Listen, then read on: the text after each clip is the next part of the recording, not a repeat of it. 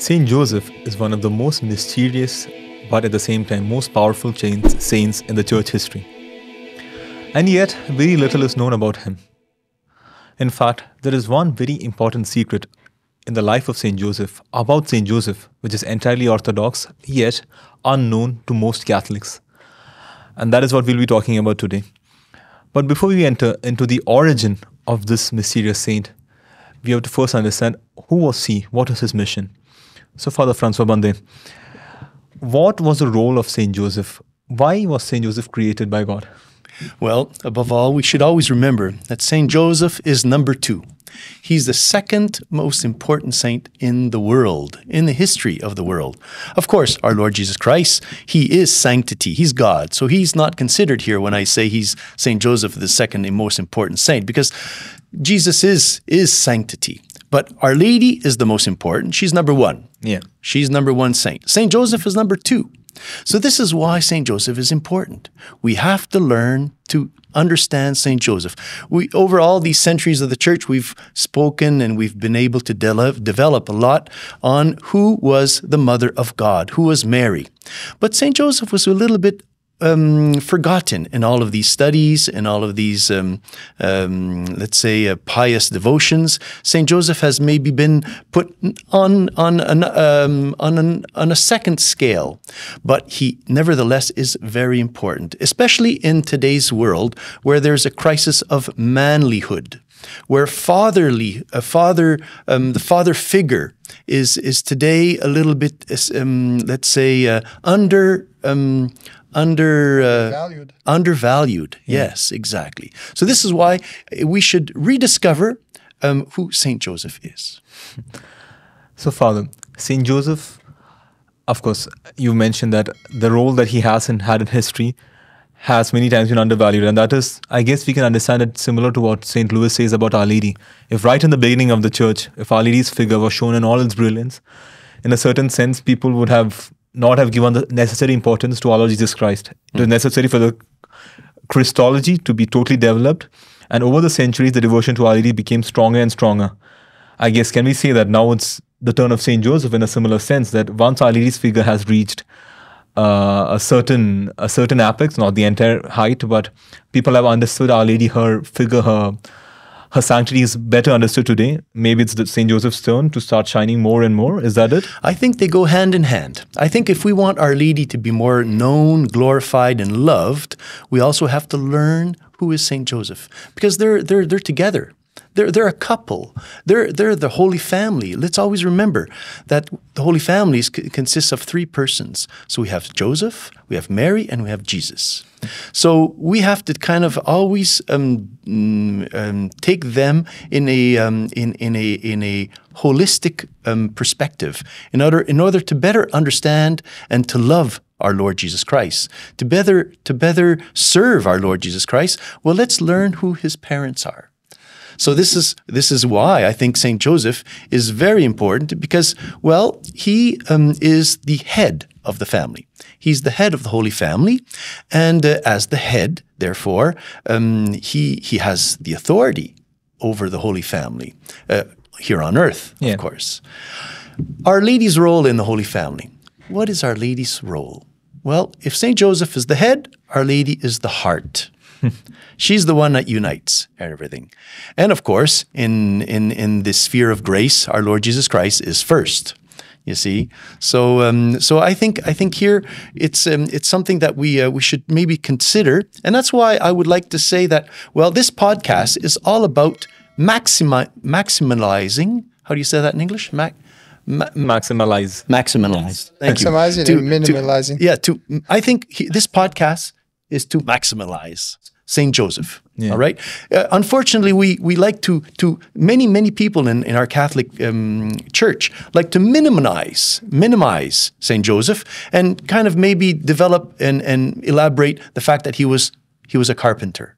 He was a carpenter. That's his title. Yes, yeah, yes. He, he, it, that was his trade. All right, but that wasn't his principal mission like calling St. Paul a tent maker. He was a tent maker, I agree, but then he was much more than that. There we go. So that's why we have to maximize St. Joseph and, and understand that he was created by God in order to form the child Jesus, in order to kind of care for the child Jesus. Now that's a mission in itself. Okay, So, mm-hmm. so going back to this maximalization of the figure of Saint Joseph, I would like here to be audacious and to say that well, Saint Joseph has a special role that nobody else has.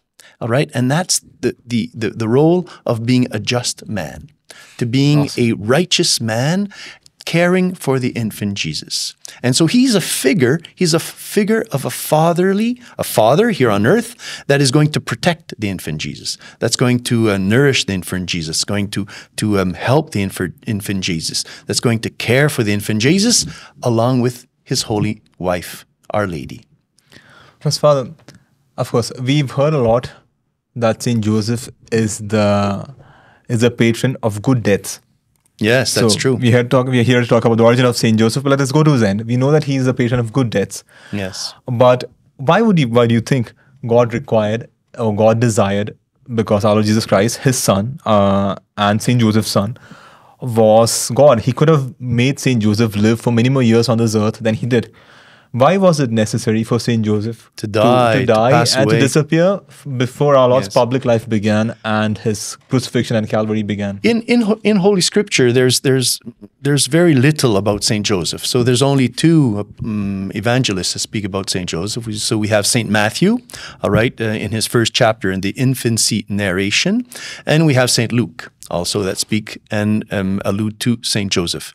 Um, and when when our Lord begins his um, his public um, his public mission, um, then at that time we don't hear about Saint Joseph anymore. So that's why tradition says that well before our Lord began his public mission, Saint Joseph had also already passed away, mm-hmm. and he is the patron of good of um, of good death because well, passing away in the arms of Our Lady, the Blessed Mother, the Blessed Holy Virgin, and the arms of of Jesus. Well, you can't you can't pass away in, in any any better way than that, right? Yeah. So that's why he is considered uh, the patron saint of holy death, because tradition, the pious tradition, is that uh, Saint Joseph therefore passed away before the beginning of the mission of our Lord. Now, why is that?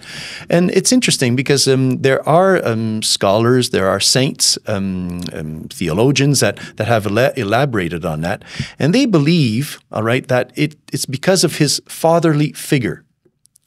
Because a father would never allow for his son to have been persecuted like Jesus was persecuted. It's a father would have stood way. up. Yes, a father would yeah. have stood up.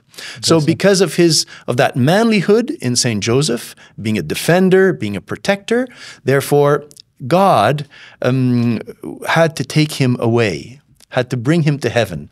Because St. Joseph, uh, maybe he would not have, um, um, let's say, um, he would not have crossed his arms, let's say, and allowed for his son to have been persecuted and crucified like he was. So, yes, for our redemption, it was necessary for our Lord to fulfill his mission. It was necessary that St. Joseph's mission should already have reached its completion because he had yes. to stop protecting. Yeah. Yes. So that our Lord, yeah. A little bit like St. John the Baptist, right? Yeah. Saint John the Baptist also he had to be he had to be taken away um, so that Jesus could uh, could grow.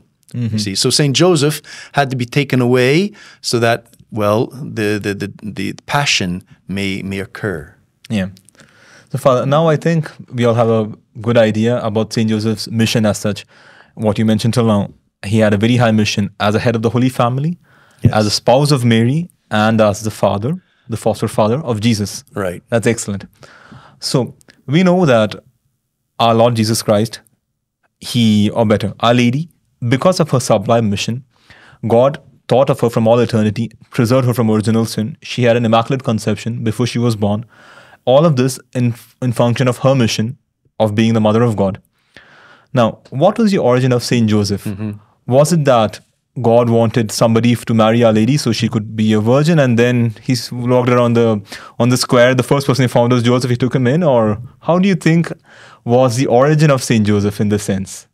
Well, there's a pious um, there's a pious uh, um, belief that um, well, this is not a pious belief. This is a dogma, all right, that Our Lady Mary was conceived without sin. Yeah. This is a dogma, and and this is a beautiful. This is a honoring Our Lady, and she. This is a very um, and this is this um, privilege. This is a privilege that Our Lady received of being conceived without sin, and this is unique to Our Lady, and there's nobody else that compares uh, or that can even come close to this uh, to this privilege that was given to Our Lady. This is actually given in a encyclica, um, encyclical called Ineffabilis Deus, Ineffabilis Deus, where it's it is written that um, by a singular grace and privilege granted by Almighty God, Our Lady was preserved from original sin.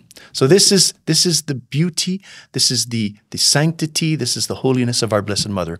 But as I was saying in the beginning of this podcast, I'm a maximalistic. I'm maximalistic with regards to saints, and I like to think of Saint Joseph, who also was conceived without sin. This is what actually our our founder, Monsignor Jean uh, Clá, he um, he uh, actually um, um, presents in his book uh, here that we have. All right, Saint Joseph. It's called Saint Joseph. Who really knows him? And this was published just a few few months ago, and it was published for the 40, 400th anniversary of the consecration of Canada to Saint Joseph. This is going to be launched uh, in in March. Uh, both the brothers here, brother, brother Morgan is uh, Canadian. Morgan Joseph Dunn is Canadian. Father Banda is Canadian as well. Exactly. And, and Canada was consecrated to St. Joseph in the year um, 1624. Um, when when the colony of Canada was very very weak and very uh, um, uh, let's say uh, vulnerable to uh, to the natives who were um, not understanding the presence of uh, of the French at the time um, from Europe and and they were at war uh, being incited actually they were being encouraged by the um, the Dutch who were down south uh, giving them um, well, uh, privileges or let's say promises if they destroyed the French colony up north, which was in Canada at the time. And so um, the governor at the time, if I don't remember, if I remember well, the governor at the time was uh, Le Sieur de Frontenac. Le Marquis de Frontenac, I believe, he um, he saw the uh, the danger of having uh, of having uh, his small colony um, maybe overrun by the natives so that were at war with him. So he, um, in the front of in the front of danger of being overrun and maybe destroyed, he therefore called the um, the uh, the Franciscan friars that were there at the time, the Récollets, and he consecrated. He asked the friars, "Let's consecrate our small colony to Saint Joseph, who's protector of the Holy Family, and that he also be a protector of this small colony." I guess the Catholic faith in Canada depended on this in a big measure, no? because the Dutch were not Catholics anymore; they were Protestants, right? They were yes, they were Protestant. Unfortunately, they were in New York at the time, which called which was called uh, York, and they were um, inciting the Indians uh, against the Catholics. So, um, so um, Saint Joseph being the protector of the Holy Family, the protector also of the Church. So uh, Frontenac, the governor, went in and decided, well, let's let's consecrate this small colony to Saint Joseph for his protection. And well, Lord behold, they were protected and they were able to come at peace with the Indians. And and and Canada today uh, is a flourishing and very strong country. So so, so we see we see here um, the role of Saint Joseph um, in in so many aspects of, of our lives. And so so this is why we're going to be publishing this book. The bub, the book actually was published. All right. So if you want to acquire it, all right, it'll be uh, available um, here. We'll have a um, link below, Father. The link of We'll this. have a link here below. And and in this book, our founder uh, wrote this book a few years ago. It's the original um, is in Portuguese, and uh, and he defends the fact that Saint Joseph was conceived um, uh, um, well without original sin. Now there is a pious uh, belief that Saint Joseph was born without original sin. You see, this this is this is also very good. But our, our founder goes a little bit further. He says, well, without diminishing the privilege of our Blessed Mother Mary, without um, um, diminishing the fact that that she is the only one that has this privilege, that that that she um, she is uh, um, Unique, Singular unique. There we go, uh, brother, Singular brother John. I, privilege. I, I just, I just like to um, to think that you know Saint Joseph has a very special origin, and that very special origin of Saint Joseph is. Um, um, is born in the love of God for his divine son Jesus, where his earthly father was conceived without sin.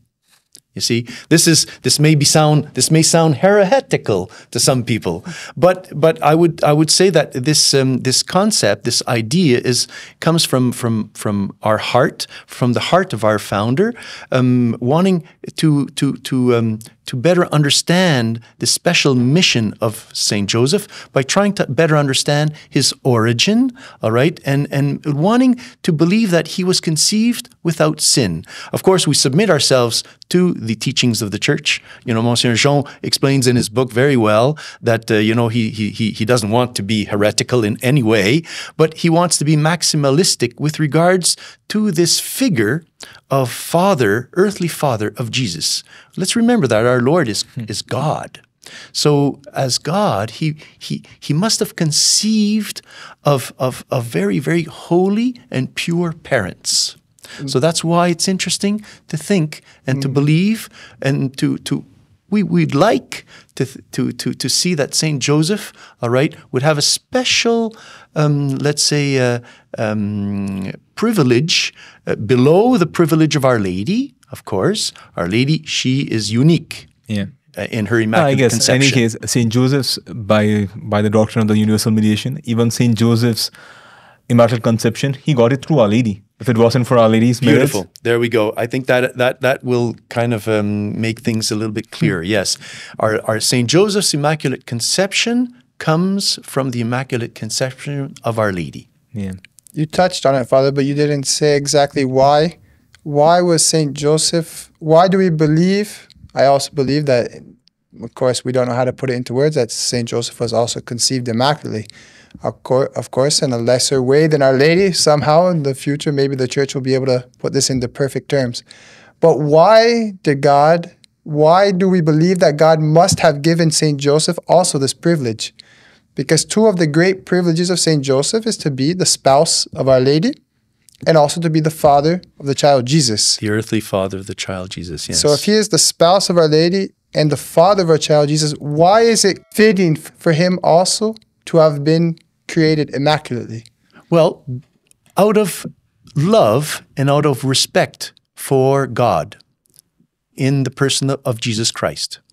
You see, I think that um, God being purity, God being goodness, God being being truth, um, he could only um, conce- be conceived, or, or, or yes, in in the virginal bosom of our Blessed Mother Mary, and having as uh, earthly father here, also a very immaculate soul person in in the person of, of Saint Joseph. So I think out of uh, out of respect, out of love, and out of admiration for this purity, um, it's interesting. It would be nice. It would be beautiful. I mean, to to to to say to be able to better understand Saint Joseph's mission um, by seeing his origin, his holy origin, immaculate origin. So basically, God, God the Father wanted to give His Son, our Lord Jesus Christ, the most perfect Father possible, and God cannot do anything less perfect. So if He chose That's to give Him maximalistic. Very good, brother. most perfect mother, Let's be maximalistic Christians, Catholics, always always wanting the best for God, for Christ, for Our Lady, for Saint Joseph. I think we we have to want to try to to to always elevate things. Why? Because that gives us hope. You see, and that helps us also practice virtue. That's why actually um, we uh, we should always uh, be in awe um, in front of these uh, truths and, and these beauty beautiful aspects of our of our faith because this is what this is what is is is reserved for us also. Let us remember that when we um, are going to be introduced into heaven um, with God's uh, mm, mercy, Mercy. um, we are we are also going to be pure yeah. we are going to also be uh, well we're going to be saints so we have to want that we have to desire we have to admire uh, uh, holiness and we have to be maximalistic in understanding that holiness is really immaculate another very beautiful. No, sorry. Go ahead, brother. beautiful thought from Saint Saint Louis Marie Grignion Montfort. He says that Our Lady was God's earthly paradise. yes Sorry, no, Our Lady was God's paradise. Our Just was like god's paradise He created Adam and Eve, and then introduced them into paradise, an earthly paradise For man. for man. God's paradise was Our Lady. Saint Louis he he makes this anal- gives this analogy. Mm, yeah. And in the book, Monsignor João, he also basing himself on this analogy because what happened after Adam and Eve sinned? They were Expelled expelled, or paradise. expulsed. Expelled, Brother Nimish. Expelled. They were expelled from um, from paradise. Yeah. And what did God, who did God put at the doors or the gates of paradise to guard paradise? Two angels. So if he put two angels, immaculate beings, or say perfect the gate beings, of at the gates of paradise, who is he going to choose to protect his paradise, which is Our Lady, It's to much be the more guardian, to the paradise of. The guardian of his paradise, which is Our Lady, and it was Saint Joseph. So if two angels protected the earthly paradise, Saint Joseph had to, in some sense, have the same moral stature stature as these two angels. Because Our be even Lady, greater. Our Lady is above angels and saints. Yeah. So Saint Joseph also has to be above angels and saints. So, Father, God was always, throughout history, we see mirac- uh, all, uh, let's put it like this we see marriages which are arranged by God.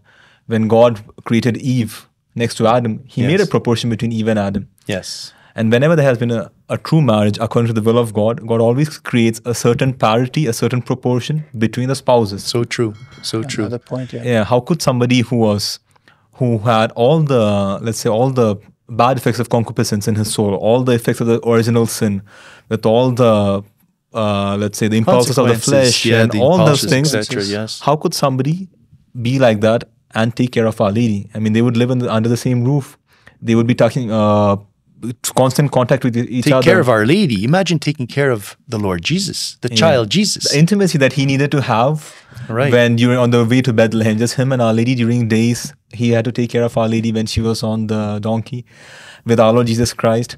So, of course, our Lord came to save sinners. It's Mm-hmm. true. He does not get, uh, he does not feel a repulse towards sinners. But for himself, God created a paradise that was Our Lady. And the person who was going to complete Our Lady, that person needed to be somebody who had proportion, who had to be part of the paradise. There we go. So beautiful argument. Thank you, Brother John. Um, kind of uh, justifying our pious belief that Saint Joseph was conceived without sin. Yeah. You see, it's um, it's it's it's also interesting to um, to always uh, remember that the reason why we want to always elevate uh, the holiness of um, of um, of the saints, especially the holiness of of our Blessed Mother Mary and the holiness of Saint Joseph, is because that helps us understand our own lack of holiness. Um, as a priest, uh, you know, I, I spend many hours a day um, having the grace to confess. There in my little chapel there in Saint Agnes. Um, I um, I visit many families there, um, especially now during uh, during Lent and and for in you know for Easter and everything. So I'm visiting a lot of families to bless and to console them and to to bring them uh, some consolation and and and and, and blessings. And and I and and I many many ask me to to receive them in confession. But some of them, when they, they kneel and they ask for confession, they come and they say, Well, Father, you know, I, I, I ask forgiveness, but I don't know what I did wrong. You know, they have difficulty in understanding what they've what they've done that was wrong, but they want to ask forgiveness, but but they don't know where they've sinned. You see? Could it be that they don't have a model, Father? Why do, why do they not know? Well, there you go. Thank you very much, Brother Morgan. That's exactly where I was getting getting at. Is because sometimes they have a minimali- minimalized, minimalistic, minimalistic view of holiness. Yeah. You see, they see saints as as other people like themselves. You see, um, uh, saint, and so they they kind of put the saints on a horizontal level, and so they don't they don't actually um, uh, d- delve into um, into real holiness, into what it is to be pure, what it is to be. If I didn't rob, I didn't kill, that's fine. That's good enough. There's nothing more than that. There we go. Yes. Yes. So, so this is why one more reason for us to um, to put Saint Joseph on on on this high level of holiness.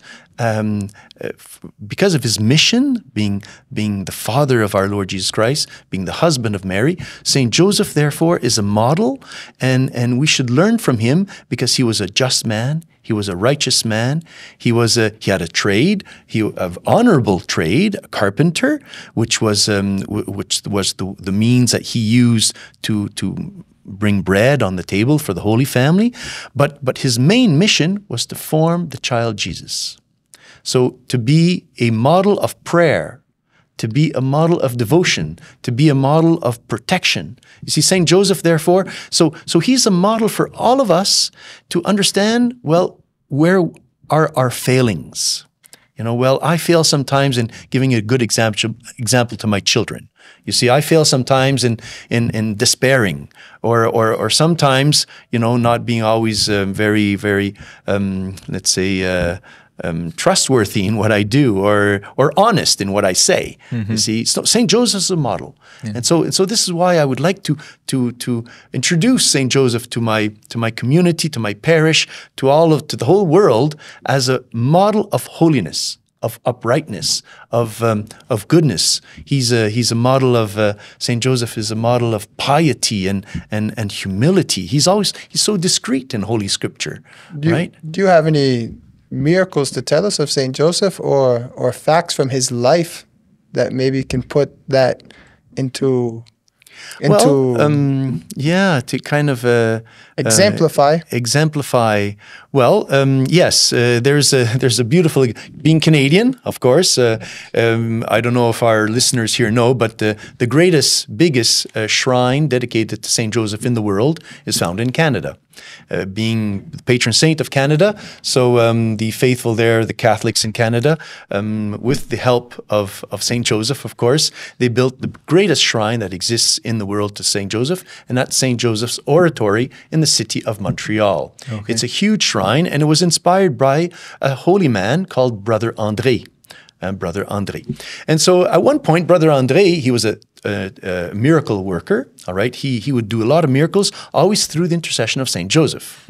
always. So there's a, in the Basilica today, this huge shrine, there's a, um, there's a crypt with all of the, uh, the canes, And the and crutches. the and the- crutches. yeah, I've seen- Yes, I've been there. Yes, there's like hundreds of them, if not thousands, thousands. of these I think crutches there's at least thousands. thousands It's of crutches that that this miracle worker, um, Brother André, would perform under the patronage of Saint Joseph. Always Brother Andre was the doorkeeper. he was the doorkeeper, yes. So, um, so there's a beautiful um, story there of uh, uh, Brother André was um, was therefore had set all the foundations of this huge basilica, all right, like really big on on Mount Royal. It's in the in the middle of the city, and so Saint Brother Brother André had had um, was able to get the foundations, the walls going up, all right, of this huge basilica. But then funds ran out for the roof. He didn't have a roof.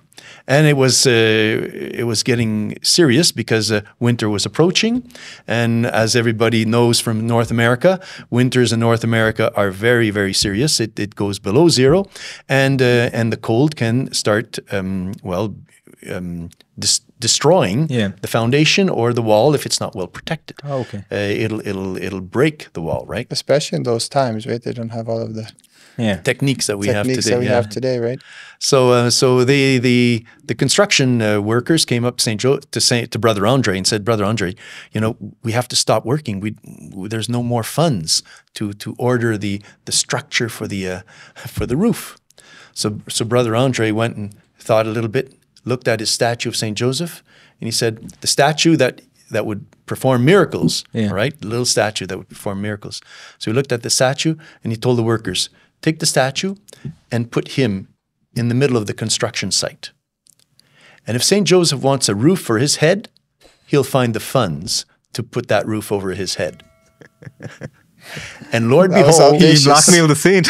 Lord behold, eh, that, that week, all right, someone came around, people were, were, were moved by grace, and the funds came and the roof was put on. Beautiful A beautiful example, especially you mentioned sometimes people enter into despair. We should never enter into despair because when we see ourselves before a situation which is impossible Yes. to overcome, it's simply pray to Saint Joseph that he is going to provide a roof over our head or what we need to get out of that that situation that we're in. Very beautiful. Uh, Saint Joseph always wins. There's something very beautiful in his life. I mean, everything that could you see what we know about him in scripture. Anything that could go wrong actually did go wrong. Looks like he had almost failed his mission. He was supposed to take care of our Lord when our Lord was supposed to be born. He didn't even have a house, but he found a, a place hmm. when everything it seems that almost God was against him. It seemed to be, might have seemed to him at that moment. He was trying his best, and all the doors were closed. He finds a cave, and everything works out. The angels come there, and he finds a place which is worthy to house the creator of the universe. Our Lord seems to have lost, been lost when he was 12 years old. Saint Joseph goes back, gets him. Things seem to go wrong many times, but Saint Joseph always wins. Well, imagine when um, Saint Joseph went and perceived that Our Lady was with child, Yeah, and he knew that it wasn't his child. yeah. You see, in Saint Matthew, it, it's it's it's a tragic moment. Saint jo- Saint Joseph, uh, God did not reveal everything to Saint Joseph, so Saint Joseph was left in a perplexity. You know, Why is that, Father? Well, it's it's it's it's part of I think living uh, a life of abandonment. We we have to learn to surrender to God. We can't try to understand everything. You see, because God is infinite. So so Saint Joseph, all right, of course, he had he had made plans for his future family, and he had made plans for our Blessed Mother that was promised to him in marriage, and uh, but then all of a sudden, our Blessed Mother, she's with child. So he was he was humbled because he knew that our blessed well, you know, we can have two there are two currents here, all right? Right. Some people say, well, St. Joseph, all right, he believed that our lady had sinned, and so that's why he wanted to leave her. But that's that's wrong. All right? That is more let's say that would be a Protestant outlook, a Protestant way to interpret the words here of Holy Scripture. Because the Catholic interpretation is that Saint Joseph, when he saw our Blessed Mother with child, all right, and he realized he was not the father, he was humbled because he knew that our Blessed Mother, she was a saint. She was holy. She was immaculate. So he knew that she could not have sinned. And so, in front of such a miracle, St. Joseph said, Well, I'm not worthy. I'm not worthy to have such a holy wife. This is beyond me. This is, this is, this is divine. It's something beyond my com- comprehension. I don't understand, but it's because it's something much greater than I. I don't. I don't have the And there are a number of fathers of the church who support this. Exactly this that Saint Joseph at no moment doubted Yes. that Monsignor João, in his book, um, Saint Joseph, who really knows him, Monsignor João explains this very, very, very well. yeah, Very based on the church fathers, based on theologians. Yes. I remember a very beautiful argument. One of the various arguments he shows to prove this thesis this is that Saint Joseph, when the angel appears to him in his dream, he does not say, Joseph, do not suspect, or Joseph, do not doubt. Because he did not suspect Our Lady. He did not doubt Our Lady. He said, Joseph, do not fear. He saw that as something much greater than him Do not fear. in taking Mary for your spouse. There we go. Beautiful, beautiful. The Brother same John, words beautiful. that the angel said to Mary. Do not be afraid. Do not, Do not be afraid. Beautiful. You see? Consider something higher. She herself was afraid of being the mother of God. Yes. And Saint Joseph, Was afraid to take Mary as his wife because she's he saw something divine in her. yeah, You know, she's she's divine. So I'm I'm just human, you know, like so so that's why he feared and so that's why he he had decided to leave. You know, he had already made a plan. I'm going to go to sleep. Now look how how St. Joseph, you know, normally when you see something such a like that, you know, you you get nervous and you get uh, upset and and you you can't sleep that night, right? Well, St. Matthew says that St. Joseph went to sleep. He went to, well, that means that, you know, this is he, this was in peace. So he it wasn't it wasn't a scandal for St. Joseph. You see? He didn't see Our Lady being with child as something scandalous. He saw something sacred.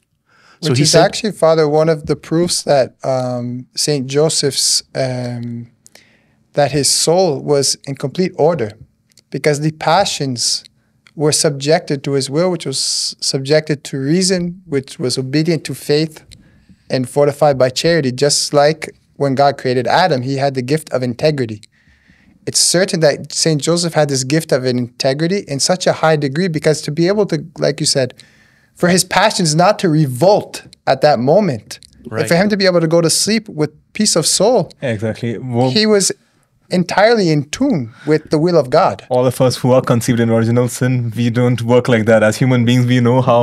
There we Even go. if you Yes. want to, your body doesn't obey. yeah. Your mind can say, "No, I need to sleep now. I know that this is something." Mm.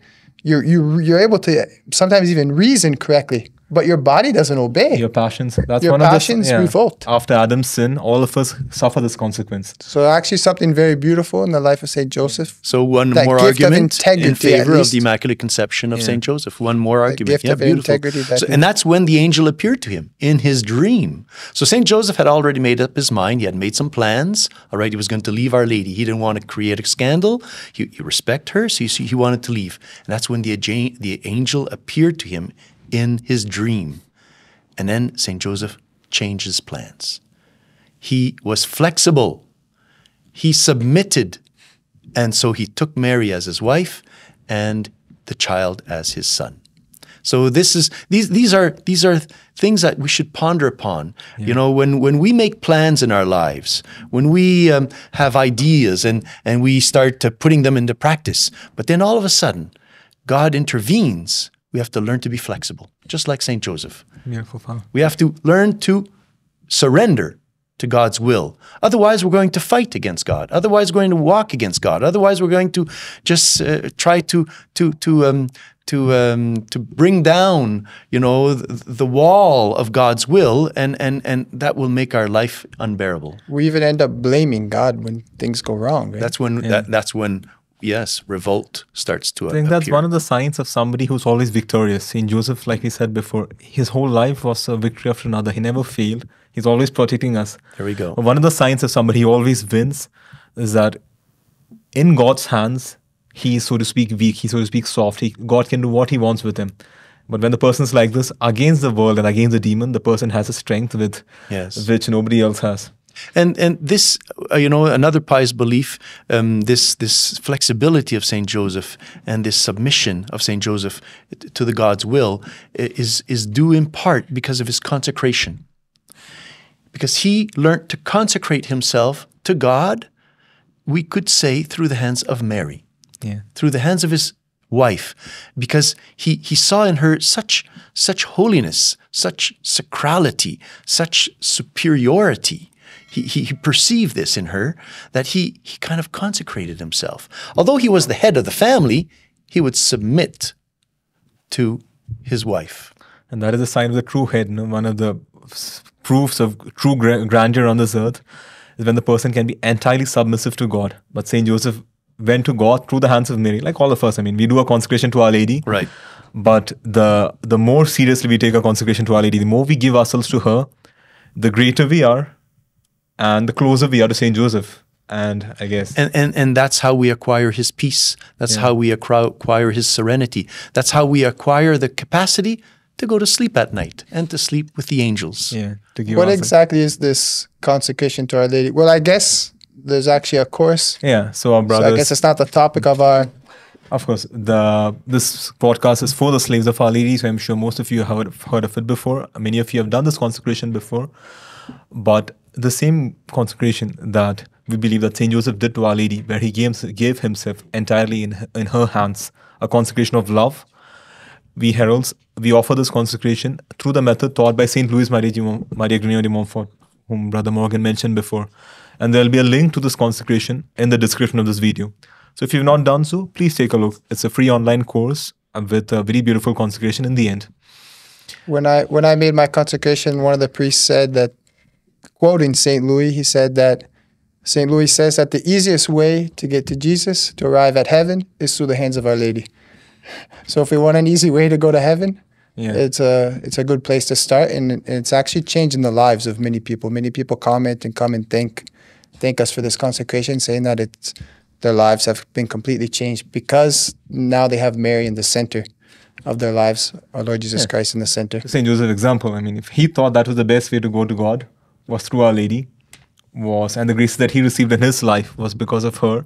I think there's no reason to But Father, it's almost time, unfortunately, for us to finish. Oh dear, I would like just to maybe just say one one Yes, last Father, word. Saint Teresa of. Avila. Yeah. Mm-hmm. Saint Teresa of Avila, doctor of the church. Great, the great Saint Teresa. All right, I have a beautiful quote here from her. All right, um, speaking about Saint Joseph, Saint Teresa of Avila had a lot of devotion to Saint Joseph, and so Saint Jo- Saint Teresa goes and says here, "I do not remember that I have ever asked anything of him which he has failed to grant." Incredible. So this is he has a certain power to grant um, graces, to obtain help from the divine infant Jesus, think the fact of him being so pure, so free from sin, make him, so to speak, omnipotent before God. Whatever he asks, he's so pure that God is, so to speak, obliged to give him because of his purity. Exactly, because of his purity. And this is why, another quote here from another saint, St. Francis de Sales, also doctor of the church, St. Francis of Sales. He goes and, um, and, and, and he says that he considers um, it definite, okay, it's a certainty. St. Francis de Sales says that St. Joseph was taken body and soul into heaven at his death. That's why there's no first class relics of St. Joseph. Have you ever heard of first class relics of St. Joseph? No. A piece of his bone, and some. So, so this is why Saint Francis, and a doctor of the church, said he he therefore was raised body and soul. One more argument, therefore, to think and to believe. Well, Saint Joseph, therefore, was conceived without sin. He's so holy. He's so special. All right, he's only below our Blessed Mother Mary. Father, this Very is one of the reasons the fathers of the church give to justify the assumption of Our Lady into heaven. They say that because she was conceived without original sin, since her body was never I'm sorry, since her body was never subject to sin, hmm. it was not fitting that this body should receive the punishment of sin, that was decay after death. So, because his body was never conceived or did not have sin, it had to be taken up to heaven. If St. Francis says that, that's another reason to believe in his Immaculate Conception. There we go. His body also never had the least taint of sin. It had to be taken up to heaven after his death. So these are all beautiful beliefs. Let's continue believing in these beautiful pious thoughts and let's be maximalistic in everything with regards to the Holy Family, with gar- regards to um, to Saint Joseph. And and let's pray to Saint Joseph that he continues to um, inspire us, to make us grow in in in, in love uh, for Jesus through the hands of Mary, uh, as good um, devotees of, of our Blessed Mother Mary. And let's ask St. Joseph to protect us, to protect the- our families, to protect the church, and therefore to also help us, all right, better understand um, the, the love that God has for each and every one of us. Beautiful fun. Amen. We're going to give her the final blessing.